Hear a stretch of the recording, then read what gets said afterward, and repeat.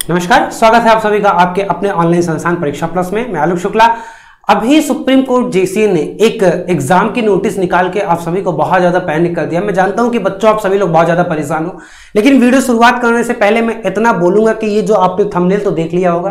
और अब इस वीडियो में यकीन में 10 दिन में वो बेस्ट स्टडी प्लान वो बेस्ट स्ट्रेटेजी बताने वाला हूँ, जो आपके लिए सबसे ज़्यादा कामगार साबित होने वाली है और आपकी बहुत हद तक निराशा को जो पैनिकनेस है उसे कम करने वाली है।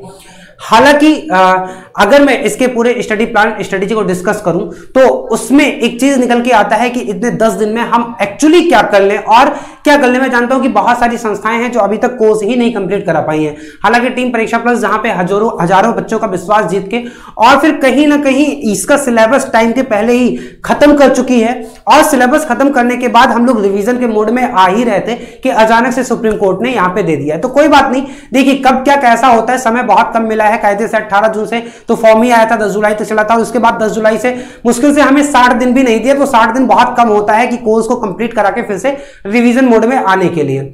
लेकिन मैं फिर भी आपको अब जो बेस्ट हो सकता है वो बताने का पूरा प्रयास करूँगा। यदि आप चैनल पे नए हो तो चैनल को सब्सक्राइब ज़रूर कर लो और जो स्टडी प्लान है, इसे फॉलो ज़रूर करो क्योंकि आपको ये बहुत ज़्यादा मदद करने वाला है। अगर हम पूरे पेपर सुप्रीम कोर्ट जैसे कि पूरे पेपर को देखें तो ये दो पार्ट में डिवाइडेड है। और सबसे बड़ी बात है जो शायद बहुत कम बच्चों को पता होती है। मैंने आपको पहले भी बताया था कि सुप्रीम कोर्ट बिना किसी नोटिस के सेक्शनल कट ऑफ़ लगाती है। और सेक्शनल कट ऑफ़ लगभग वो फिफ्टी होता है ओवरऑल का। है ना? फिफ्टी होता है। मतलब कि पार्ट वन जो है, ये टोटल सौ क्वेश्चन का होता है। और इस सौ क्वेश्चन का भी सेक्शनल कट ऑफ़ होगा। यानी सौ में आपको पचास क्वेश्चन, यहाँ पे पचास क्वेश्चन क्या होगा? कंपलसरी ही है। और ऐसे यहाँ पे पच्चीस क्वेश्चन सॉरी पच्चीस क्वेश्चन में तेरह क्वेश्चन जो है, ये तेरह क्वेश्चन भी कंपलसरी ही है और फिफ्टी परसेंट फिफ्टी परसेंट लगभग दोनों का हो जाता है। चलिए।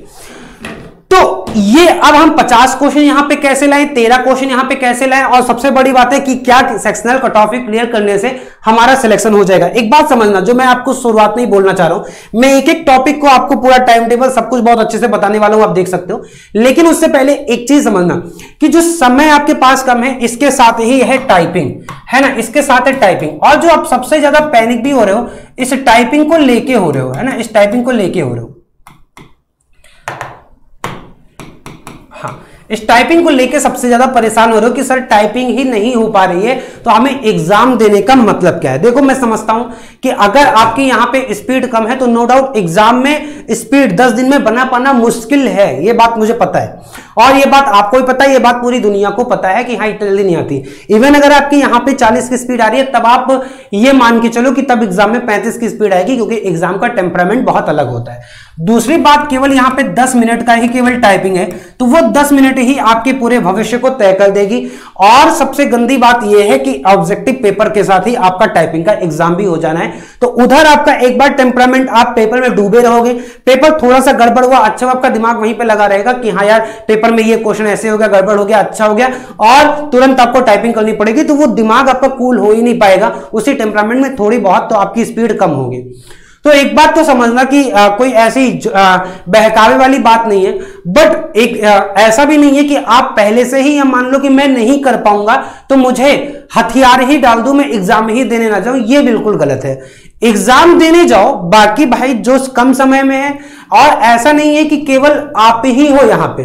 सबके लिए सेम सिचुएशन है, सभी लोग परेशानी में हैं, सभी लोग sailing in the same boat वाली कंडीशन है, कोई अलग नहीं है। किसी की टाइपिंग कम आ रही है, किसी का ऑब्जेक्टिव नहीं तैयार है, किसी का कोई सब्जेक्ट नहीं तैयार है, ऐसे टाइप में दिक्कत आ रही है तो कॉम्पिटिशन लेवल ओवरऑल ये क्योंकि एक कॉम्पिटेटिव एग्ज़ाम है कॉम्पिटिशन लेवल ओवरऑल क्या हो गया? लो और कॉम्पिटिशन लेवल जब लो हो जाता है तो जो अच्छा परफॉर्म कर लेता है, उसी का क्या हो जाता है? वही यहाँ पे सिकंदर हो जाएगा इस बात को समझना। बहुत सारे बच्चे टाइपिंग से छटेंगे, बहुत सारे बच्चे किसमें छटेंगे? ऑब्जेक्टिव में छटेंगे। तो यदि आपके 30 35 40 की स्पीड आ रही है तो आप निश्चित 100 परसेंट मान के चलो कि आप सिलेक्शन के बहुत करीब हो। और अगर आपका यह भी तैयार है, साथ में दोनों सोने पे सुहागा है तो आप निश्चित बहुत एकदम पैनिकनेस हटा दो और फिर अपनी तैयारी में जुट जाओ, दस दिन अच्छे से रिवाइज कर लो, आपका सिलेक्शन हो जाएगा। यदि आपकी स्पीड बिल्कुल नहीं बन पा रही है, दस, पंद्रह, बीस के पास पे रह रही है तो आपको थोड़े से सोचने की ज़रूरत है ज़्यादा बेटर होगा कि आप कोई और एग्ज़ाम भी देख लो इस दस दिन में शायद, क्योंकि टाइपिंग में पास नहीं होगा तो उस ऑब्जेक्टिव का भी कोई मतलब नहीं है। हाँ मैं ये नहीं बोलूँगा कि पेपर देने मत जाओ, पर जाओ पेपर दे लो, कोई दिक्कत नहीं है। बट परेशान होके मत दो, पहले से ही डिसाइड कर लो। और अगर आपका ये कमज़ोर है टाइपिंग अच्छी आती है तो भी परेशान होने की ज़रूरत नहीं है, क्योंकि असली खेल आपका क्या है? असली खेल आपका यहाँ पे टाइपिंग ही है, और यही आपके एग्ज़ाम को क्या करेगा? क्वालिफाई डिस्कालीफाई करेगा। ये बहुत ज़्यादा मैटर नहीं करेगा, केवल आपका सेक्शनल कट ऑफ़ आएगा। तो टाइपिंग में मैं आपको एक दो शब्दों में बोल रहा हूँ। तीन प्रकार के बच्चे हैं। एक ऐसे बच्चे हैं जो 10 15 20 की स्पीड आ रहे हैं। वो थोड़ा सा पहले से समझ जाए। बुरा मत मानिए मेरे बातों का, बट जो सच्चाई है, वो सच्चाई है। मैं आपको बहकावे में नहीं हूँ, आपका टाइम नहीं बर्बाद करना चाहता हूँ। दूसरी बात जो बच्चे 30, 35, 40 के हैं वो कॉन्फिडेंट रहे। वो 10 दिन और प्रैक्टिस करें और उनकी स्पीड और बढ़ेगी और दिमाग को कूल रखें वो ज़रूर पेपर देने जाएँ। अब जिनकी 30, 35, 40 की स्पीड आ रही है या उससे ज़्यादा आ रही है उनमें दो कंडीशन है। या तो ऑब्जेक्टिव तैयार है या ऑब्जेक्टिव नहीं तैयार है। तो दोनों के लिए मैं बोल रहा हूँ ऑब्जेक्टिव की चिंता एकदम मत करो। आपकी बस टाइपिंग अगर तीस पैंतीस के करीब आ रही है तो आप देने जाओ। हिंदी टाइपिंग नहीं है। इंग्लिश टाइपिंग में ज़रूरी नहीं कि स्पीड कम ही हो जाए। इंग्लिश इंग्लिश टाइपिंग में स्पीड बढ़ भी जाती है, पैसे पे डिपेंड करता है और आपके किस्मत पे डिपेंड करता है, उस समय माहौल पे डिपेंड करता है। इसलिए आप देने ज़रूर जाओ और अब आते हैं हम लोग ऑब्जेक्टिव वाले पार्ट पे। ऑब्जेक्टिव वाले पार्ट में अगर देखा जाए तो मैं बात करूँगा कि दो पार्ट में जैसे डिवाइडेड है और 50 परसेंट सेक्शन होता है। लेकिन आपको इन 10 दिनों में सबसे ज़्यादा कहाँ पे फोकस करना है? मैं आज केवल आपसे इन्हीं बातों के चर्चा करूँगा। अभी बात समझना कि अंतिम दस दिन में आप कुछ नया तो पढ़ नहीं पाओगे। मैं लाभ बोलूँ कि आप ये पढ़ लो, वो पढ़ लो, लेकिन ज़्यादा से ज़्यादा पैनिकनेस हो जाएगी। और एक बार आप, एक बार आप टाइम टेबल देखो अपना टाइम टेबल में भाई आपके पास 24 घंटे हैं। इस 24 घंटे में आप 6 घंटे तो कम से कम सो ही। अगर 6 घंटे सोओगे नहीं तो आपकी हेल्थ खराब हो जाएगी, सारा पढ़ने का कोई मतलब नहीं है। ऐसा नहीं कह रहा हूँ कि पाँच घंटा सोने वाला एकदम बीमारी हो जाता है। कुछ लोग पाँच घंटे भी सोते हैं, उनका हैबिट होता है बट एक जो छह घंटे एवरेज स्पीड है, मैं उसकी बात करूँ, वो आपके रूटीन पे डिपेंड करता है। वो कोई यहाँ पे विवाद का इशू नहीं है। वो आप पे डिपेंड करता है। उसके बाद आप तीन से चार घंटे दिन का डेली कोरस वर्क में निकाल दो, जिसमें आपको पता नहीं लगेगा कि कहाँ निकल जाता है। खाना खाना, नहाना, जाना, उठना, बैठना, कोई रिश्तेदार आ गया, किसी को पानी देना, उसमें तीन चार घंटे निकल जाते हैं जो आप कंट्रोल नहीं कर पाओगे, वो दूसरे एलिमेंट की वजह से आपका नुकसान होगा। मतलब आप दस घंटे तो सीधा निकाल दो, आपके पास बचते हैं केवल चौदह घंटे। और इस 14 घंटे की स्ट्रेटजी मैं आपको बताऊँगा, जिसमें से ऑन एवरेज चार घंटे ऑन एवरेज चार घंटे आपको टीम परीक्षा प्लस के साथ देना होगा, यहाँ पे जो आपकी रिवीजन क्लास करवाएगी। मैं पूरा आपको बता रहा हूँ कि कैसे रिवीजन जो बेस्ट प्लान है टीम परीक्षा प्लस का, वो मैं आपको बता रहा हूँ। चार घंटे केवल हम लेंगे और इसमें दस घंटे आपको देना है। इस दस घंटे में भी टाइपिंग वाले एक से दो घंटे अपना टाइपिंग निकाल के चलो। मतलब एक दो घंटे आपका क्या हो जाएगा? टाइपिंग हो जाएगा। बच्चे केवल आपके बचे आपके आठ घंटे हैं, ये आठ घंटे आपका रिटर्न हो जाएगा। और यदि अगर किसी की स्पीड किसी की स्पीड 25 से 30 के बीच में हो तो टाइपिंग स्पीड आप ज़्यादा तीन घंटे की प्रैक्टिस डेली करो, इसमें भले ही थोड़ा कम कर दो, क्योंकि अगर ये पास हो गए तो हो सकता है किस्मत अच्छी रही होगी तो आप यहाँ पे भी पास कर जाओगे और आप सेलेक्ट भी हो जाओगे। लेकिन अगर यही नहीं कर पाए तो आपका कोई मतलब नहीं है। तो मैं उनके लिए बोल रहा हूँ कि टाइपिंग स्पीड दो टाइपिंग की प्रैक्टिस दो से तीन घंटा कर लो, किनके लिए? जिनकी स्पीड बिलो तीस है। बिलो अपर अब तीस वाले, ठीक है, एक घंटे प्रैक्टिस करो एग्ज़ाम तक आप अच्छा परफॉर्म कर लोगे। लेकिन अगर तीस से कम है तो आप कम से कम तीन घंटे, ढाई से तीन घंटे मिनिमम प्रैक्टिस करते चलो।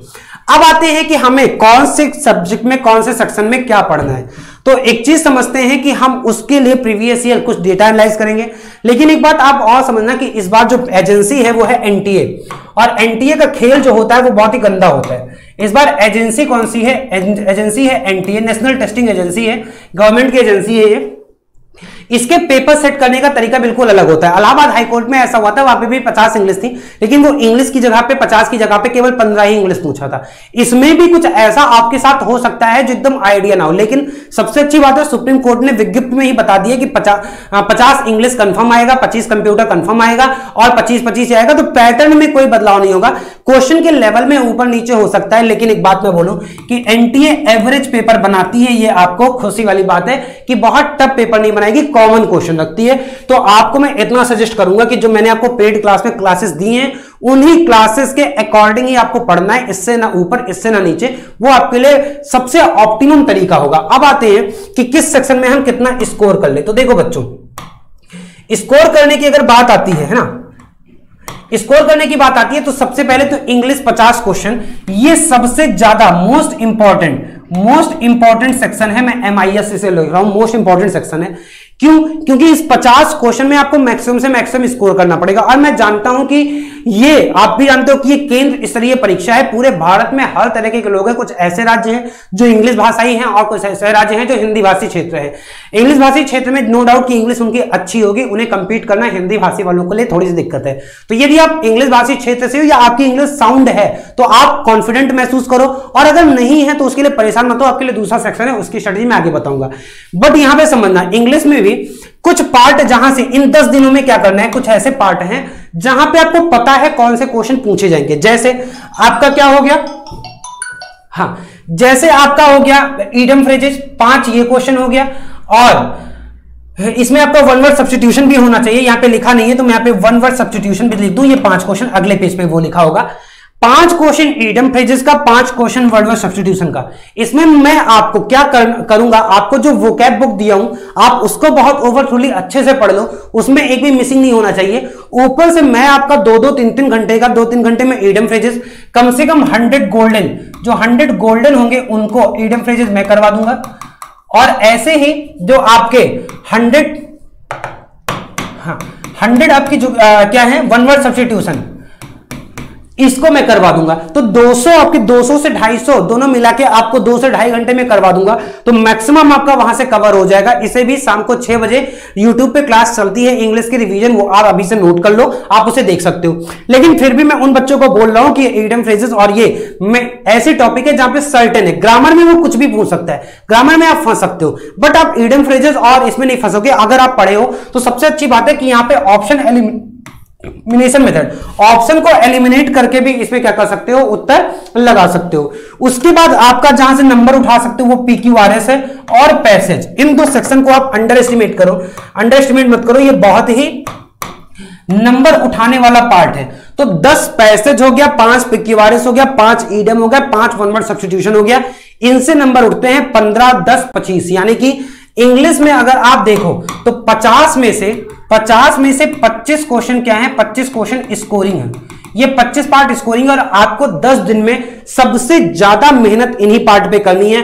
पैसेज पे करनी है पीक्यूआरएस पे करनी है। अब आप बोलोगे, सर, पैसेज पे कैसे करें? एक बात समझना कि पैसेज एक ऐसी चीज़ है, पैसेज एक ऐसी चीज़ है जहाँ पे आपका कंप्रहेंशन ज़रूरी होता है। आप ये दो टाइप के बच्चे होते हैं। एक पढ़ने से घबराते हैं, वो पढ़ ही नहीं पाते। एक जो इंग्लिश से यूज़ टू होते हैं, वो पैसेज जल्दी पढ़ लेते हैं, उन्हें तुरंत कंप्रहेंड भी हो जाता है, समझ में भी आ जाता है। तो अगर आप दस दिन में डेली दो तीन दो तीन दो तीन प्रैक्टिस कर रहे हो, डेली पाँच पैसेज की प्रैक्टिस करो इंग्लिश में। अगर पाँच पैसेज की प्रैक्टिस करोगे तो आने वाले नौ, दस दिनों में आपके पास पचास पैसेज हो जाएँगे और पचास पैसेज फिर आप कंफर्टेबल महसूस करने लगोगे और एग्ज़ाम में वो आपका स्कोर बूस्ट करा देंगे। पाँच पाँच के दो पैसेज आएँगे और ये कितने होंगे? ये दस नंबर के होंगे। ईडम फ्रेजेस पे प्रैक्टिस कर लोगे तो ये आपका आ जाएगा पीक्यूआरएस पे प्रैक्टिस करोगे तो ये भी आपका आ जाएगा। ये हनीफ सर आपको करवा देंगे ईडम फ्रेजर ओडब्ल्यूएस मैं करवा दूँगा। अब आते हैं बाकी जो पार्ट पे 25 में। इन 25 में देखो एरर वाले पे अब दिमाग मत लगाओ। मैंने एक क्लास भी इसकी करवा दी है, अब जो बचा समय है, इसमें एरर अब मत पढ़ो। जितना आपको आएगा उतना कर लोगे, वरना निगेटिव ही करके आओगे। वन फोर्थ निगेटिव होता है और इतिहास गवाह है कि सबसे ज़्यादा निगेटिव कहाँ पे होता है? एरर वाले पार्ट में होता है। तो अगर आपको डायरेक्ट कुछ दिख रहा है तो ठीक है, वरना इसे नहीं छुओगे तो भी काम चल जाएगा। बाकी आपका फिलर से क्वेश्चन उठ जाता है और सेंटेंस फ्रेमिंग यहाँ से भी। ये क्वेश्चन अगर इस टाइप के क्वेश्चन हालाँकि इस बार एनटीए करा रहा है तो सेंटेंस फ्रेमिंग वाला हो सकता है, ना पूछे। इसकी जगह पे कुछ और पूछ ले। बट अगर ऐसा पूछता है तो यहाँ पे स्कोर वो पाँच आप अपना प्लस करके चलो, ये पाँच आप अपना बढ़ा ही लोगे। ठीक है, ये पाँच आप अपना बढ़ा लोगे मतलब पच्चीस से तीस हो जाएगा। क्योंकि यहाँ पे आप अच्छा स्कोर कर पाओगे। तो ये आपका रहा ये वाला पार्ट दूसरा हम इंग्लिश को देखते हैं। तो इंग्लिश में आपको करना क्या है? आपको मैं तीस तीस मतलब किसके लिए? जो चार पार्ट केवल चार पार्ट वो पढ़ो और बाकी आप कर लोगे तो भी आपका स्कोर कितना आ जाएगा? आपका 30 प्लस स्कोर आ जाएगा बहुत आराम से। मैं भी मिनिमम लेके चल रहा हूँ। 30 प्लस आपका 50 में स्कोर आ जाएगा, ये ध्यान देना इंग्लिश वाले पार्ट में। दूसरा है जीएस अब ये लास्ट के दस दिन में सबसे ज़्यादा सबसे ज़्यादा दिमाग लगाने वाला, सबसे ज़्यादा दिमाग लगाने वाला क्या है? सेक्शन जीएस ये अब दिमाग लगाने का मतलब ये नहीं कि सबसे ज़्यादा समय दो। दिमाग लगाने का मतलब केवल इतना पढ़ो जितने में आपका काम बन जाए। जैसे आपको केवल क्या पढ़ना है? करंट पढ़ना है। सात क्वेश्चन और इस बार फिर से प्रोडिक्शन है। एनटीए है तो करंट अच्छा पूछता है कॉमन करंट पूछता है। और इसमें आपको सात से आठ नंबर उठ सकते हैं। उसके बाद उसके बाद आपको क्या पढ़ना है? पॉलिटी पढ़ना है। ठीक है? यहाँ से क्वेश्चन उठेगा, क्योंकि ये सुप्रीम कोर्ट का पेपर है और पॉलिटिक्स से फिर से क्वेश्चन बनेगा, ये बात निश्चित है। और इसके बाद अगर आपको पढ़ना है तो ज्योग्राफी पढ़ना है, केवल इंडियन ज्योग्राफी ये तीन पार्ट आपको केवल पढ़ना है जीएस में इसके बाद कुछ आए या ना आए। अगर समय बचता है तो आपको क्या पढ़ना है? स्टैटिक जीके वाला पार्ट पढ़ना है। लेकिन ये भी इसका एरिया वास्ट है। है ना? इसमें स्टेटिक जीके में क्या क्या पढ़ लो, ये भी कुछ पता नहीं होता है। तो अंतिम दस दिनों में मैं ये नहीं बोलूँगा कि इसे कहीं से उठा के रटने लग जाओ आपको मैं इतना बोलूँगा, समय बचे तब ये करो। वरना पाँच चार, सात, ये कंफर्म है कि करंट जितना आपने छह महीने, और कितना करंट पढ़ना है? सिक्स मंथ का, केवल सिक्स मंथ का करंट पढ़ना है। इससे ज़्यादा आपको नहीं पढ़ना है। जैसे हाँ कुछ बच्चे तो पागल कर देते हैं। जैसे आपको क्या करना है कि अब पाँच, चार और मैं सात ये बोल रहा हूँ। करंट आपको छह मंथ पढ़ना है, आपका 26 सितंबर को पेपर होना है, इसका मतलब सितंबर नहीं पूछा जाएगा। तो सितंबर, एक सितंबर से पहले का छह महीना आप देख लो। और उसके बाद पॉलिटी में एक से सौ आर्टिकल इसमें भी मैं आपको बोल दूँ क्या क्या जैसे फंडामेंटल राइट हो गया फंडामेंटल ड्यूटीज़ हो गया प्रेसिडेंट हो गया, और आपका संसद हो गया, लोकसभा और राज्यसभा। और थोड़ा बहुत सुप्रीम कोर्ट के और हाई कोर्ट के जजेस के बारे में। इतना पढ़ लोगे तो पॉलिटी में भी क्वेश्चन गलत नहीं होगा। ज्योग्राफी में केवल आपको इंडियन ज्योग्राफी पढ़ना है और इंडियन ज्योग्राफी में ऐसा नहीं कि आप मिनरल्स वगैरह पढ़ो नहीं। इंडियन ज्योग्राफी केवल Indian political geography state and boundary किससे कौन सी रेखा जाती है, कौन सा स्टेट कितने बाउंड्री को शेयर करता है, यही सारी चीज़ पढ़ना है। उसके बाद माउंटेन रिवर पासेस और आपके जो परियोजनाएँ हैं, इनसे पूछना है, बस इससे ज्योग्राफी पढ़ने की आवश्यकता नहीं है। तो जीएस में आपको सबसे कम पढ़ना है। उसके बाद देखा जाए एप्टीट्यूड अब एप्टीट्यूड में भी देखो दो टाइप के बच्चे हैं। एक ऐसे हैं जो मैथ बैकग्राउंड वाले हैं, एक ऐसे बच्चे हैं जो रीजनिंग बैकग्राउंड मैथ बैकग्राउंड वाला होगा जो उसका रीजनिंग भी अच्छा होगा। ऐसे हैं जो जीएस बैकग्राउंड वाले होते हैं। तो मैथ्स बैकग्राउंड के हो तो ज़ाहिर सी बात है आपके इस 25 में कम से कम 20 प्लस स्कोर करो, क्योंकि आपको यहीं पे यहीं पे आपको गेन होगा। और अगर आपकी मैथ कमज़ोर है तो आप रीजनिंग वाला पार्ट मत छोड़ो। ये वाला पोर्शन आप ज़रूर करो। और रीजनिंग वाले पार्ट में भी इस बार एनटीए करा रहा है तो प्रीवियस ईयर पेपर से मैं नहीं बोल सकता हूँ कि केवल जैसे पिछली बार क्या हुआ था केवल डायरेक्शन सेंस से पूछ लिया था ब्लड रिलेशन से। केवल दो टॉपिक उठा लोगे तो हाँ, बारह तेरह क्वेश्चन में से कम से कम सात आठ क्वेश्चन केवल दो टॉपिक से था। लेकिन इस बार थोड़ा सा एनटीए एवरेज लेके जाएगा हर टॉपिक से थोड़ा थोड़ा पूछेगा। बट रीजनिंग ऐसा है कि आपको कोई स्किल नहीं चाहिए होती है केवल कुछ चैप्टर होते हैं जैसे क्लॉक हो गया कैलेंडर हो गया है ना? इनके आपको एक पर्टिकुलर फॉर्मूला चाहिए होता है या एक दो चैप्टर और हुए बाकी आप जनरल एग्ज़ाम में बैठे बैठे भी लगा सकते हो, अगर आपके पास समय है तो। तो रीजनिंग में नंबर उठ सकता है और नंबर इसमें बारह तेरह क्वेश्चन रीजनिंग के पूछेंगे। आप इसमें कम से कम 10 प्लस क्वेश्चन करने का प्रयास करो। और अगर मैथ्स भी अच्छी है तो मैथ्स भी 12 क्वेश्चन पूछेगा। कम से कम आठ प्लस वहाँ पे भी स्कोर करो। यानी कि जिनकी मैथ्स अच्छी है, उनको स्ट्रिक्टली 20 प्लस आपका आराम से हो जाएगा। और जिनकी नहीं है, उनके भी पंद्रह प्लस होने चाहिए। अब मैं बोलूँ कि कौन कौन से चैप्टर आपको पढ़ लेना चाहिए लास्ट के दस दिनों में, इस वाले में? तो एक देखो आपको पढ़ना क्या है। आपको ब्लड रिलेशन पढ़ लो, ठीक है ना? डायरेक्शन सेंस पढ़ लो, और आप हाँ ब्लड रिलेशन हो गया, डायरेक्शन सेंस हो गया, दो टॉपिक ये हो गया। बाकी तो इसने अरेंजमेंट और पैसेज पे पूछा था। अब आप कोडिंग डिकोडिंग से भी एक क्वेश्चन मिल सकता है, आप सीरीज़ से भी एक क्वेश्चन मिल सकता है एनोलॉजी से एक क्वेश्चन मिल सकता है उसने कोई पर्टिकुलर सिलेबस नहीं डिफाइन किया है। बट आप ब्लड रिलेशन डायरेक्शन सेंस और कैलेंडर एक केवल कैलेंडर क्योंकि ये फॉर्मूला बेस है। अगर आ गया क्वेश्चन फॉर्मूला जानते हो तो आप कर ले जाओगे, वरना नहीं कर पाओगे। और बाकी रीजनिंग में केवल आप जो टेस्ट सीरीज़ इसमें अलग से कुछ पढ़ने की ज़रूरत नहीं है। यहाँ पे केवल आप किस पे फोकस है ना टेस्ट सीरीज़ में जितने क्वेश्चन कराए जा रहे हैं, आप उनकी प्रैक्टिस करते रहो, बस। अब आते हैं हमारे पास मैथ वाले पार्ट में। मैथ वाले पार्ट में देखो तो आपको किसमें करना है, सबसे ज़्यादा परसेंटेज परसेंटेज आप कवर कर लो प्रॉफिट एंड लॉस कवर कर लो, उसके बाद एस आई और सीआई कवर कर लो रेशियो कवर कर लो। अगर ये और एलसीएम आप कवर कर लो और डिविजिबिलिटी इतनी केवल टॉपिक बता दिया हूँ टॉपिक बता दिया हूँ। नंबर सिस्टम को एक्सपेंड नहीं किया केवल दो टॉपिक ले रहा हूँ। LCM S divisibility percentage profit loss SIC और रेशियो अगर इतनी टॉपिक आप अच्छे से कर लेते हो इन दस दिनों में तो आपके बारह अगर क्वेश्चन पूछेगा तो बारह में से आठ प्लस क्वेश्चन आपके कहीं नहीं गए हैं, बहुत आराम से कर लोगे बेसिक बेसिक पढ़ो, बहुत डीप पढ़ने की इसमें आवश्यकता नहीं है। क्लियर हो गया? तो देखा जाए तो मैं एक बार आपको पूरी तरीके से बता दिया अब कंप्यूटर में आपको स्ट्रिक्टली कुछ नहीं पढ़ना है इस दस दिन में। जो आपको टेस्ट सीरीज़ कराई जा रही है, वो टेस्ट सीरीज़ आपको करना है प्लस केवल एमएस ऑफ़िस एमएस ऑफ़िस पढ़ लो और टेस्ट सीरीज़ जो आशीष सर शाम को सात बजे कंप्यूटर में स्पेशल स्पेशल सात पीएम पे कंप्यूटर की प्रैक्टिस आपको करा रहे हैं, कंप्यूटर के एमसीक्यूज करा रहे हैं। आप उस क्लास को एक घंटा डेली लो और उसके बाद आप एमएस ऑफ़िस खुद से पढ़ो और टेस्ट सीरीज़ आप खुद से करो, जो आपको परीक्षा प्लस से अवेलेबल कराया जा रहा है ऐप पे। इतना कर लोगे तो आपके कंप्यूटर में जो 25 क्वेश्चन है, इतना केवल कर लेने मात्र से आपके 20 प्लस कंप्यूटर में आ जाएँगे। तो अभी आप एक बार स्कोर जोड़ो 20 प्लस आपका कंप्यूटर में अगर स्कोर कर लेते हो, और मैथ्स और रीजनिंग में भी आप 20 प्लस कर लेते हो 20 20 40 और जीएस में जीएस में अगर केवल आप इतना कर लोगे, जितना मैं आपको बताया था तो पाँच, चार, नौ, सात, सोलह, फिर भी पंद्रह क्वेश्चन कर लोगे। मैं उन बच्चों के लिए बोल रहा हूँ जिनका जीएस कमज़ोर होता है जीएस में उठता नहीं है। तो चालीस और पंद्रह, पचपन यहाँ पे हो गए, और तीस यहाँ पे हो गए। पचासी प्लस आपका स्कोर हो गया, आप देखो। और एक बात समझना पचासी प्लस आपका 125 क्वेश्चन में स्कोर हो गया। और इस बार आपका कट ऑफ़ क्या हो जाएगा? इस बार आपका कट ऑफ़ नीचे जाएगा, ये बात भी कंफर्म है। क्योंकि समय बहुत कम मिल रहा है, बच्चा पैनिक है। दूसरी बात टाइपिंग एक साथ है, इसलिए बहुत सारे बच्चे टाइपिंग में ही छट जाएँगे। और negative unfold sectional cut off भी है तो उसमें भी छट जाएँगे। इस कारण से अगर कोई पचासी सारे सेक्शनल को क्लियर करके और पचासी भी स्कोर ले आता है तो उसके सिलेक्शन के चांसेस बहुत ज़्यादा हो जाएँगे। यहाँ पे आपको कॉन्फिडेंस बूस्ट करना है। हम थोड़ा सा दो मिनट में डिस्कस कर लेंगे क्या? कि आपका टाइम टेबल क्या होना चाहिए? तो मैं उस 10 घंटे का टाइम टेबल आपको बता रहा हूँ। है ना? देखो, पहले तो चार घंटे में आपको करना क्या है? एक घंटे, एक आवर जो छह से सात क्लास चल रही है इंग्लिश की। ये इंग्लिश की क्लास चल रही है। कहाँ पे चल रही है? परीक्षा प्लस यूट्यूब चैनल पे। परीक्षा प्लस यूट्यूब चैनल पे। है ना? यूट्यूब चैनल पे चल रही है। और एक आवर आपको कहाँ पे देना है? एक आवर आपको सात से आठ पीएम पे देना है, ये कंप्यूटर की क्लासेस चलाई जा रही है। दो घंटा ये हो गया और दो घंटे की आपकी टेस्ट सीरीज़ कंडक्ट कराई जा रही है, ये परीक्षा प्लस ऐप पे कराई जा रही है, इसे आप करो। चार घंटा आपका ये हो गया।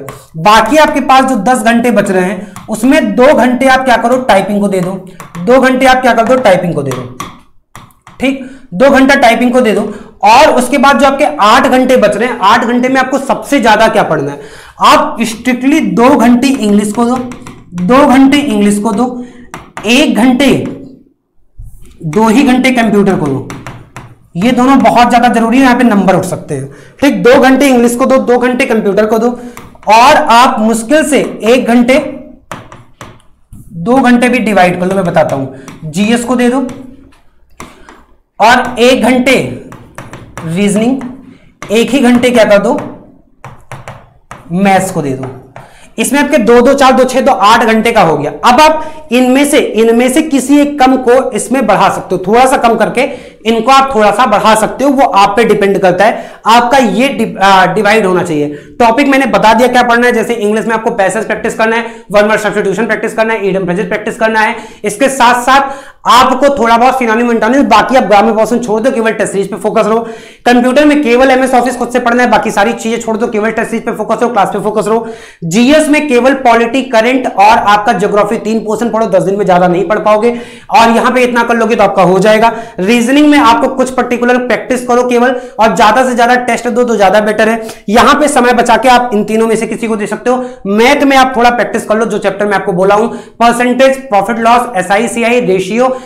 time and work अगर समय मिलता है तो कर लो, वरना फिर आपका क्या हो जाएगा? एलसीएम एससीएफ और डिविजिबिलिटी इन पे प्रैक्टिस कर लोगे।